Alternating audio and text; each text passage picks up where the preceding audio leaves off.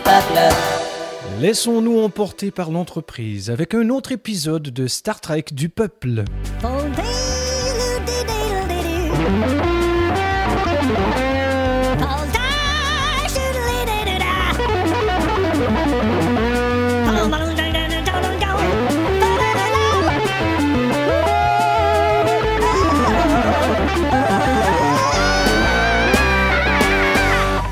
Monsieur Spock, Oui, capitaine. dites à cette espèce de guitariste que ces nouveaux arrangements pour la musique d'ouverture me déplaisent. Bien, capitaine.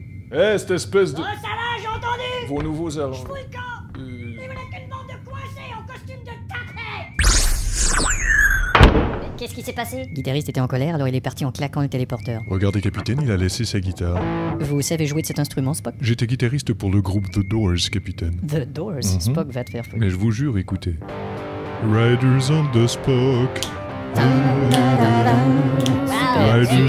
Spock. Approchez-vous, Spock. Pourquoi? J'ai dit approchez-vous. Pas la pichenette sur l'oreille. Tenez. Aïe. Vous apprendrez à vous foutre de ma gueule. Demande pardon. Et sachez que j'étais moi-même dans le domaine du spectacle. Regardez ceci. Oh.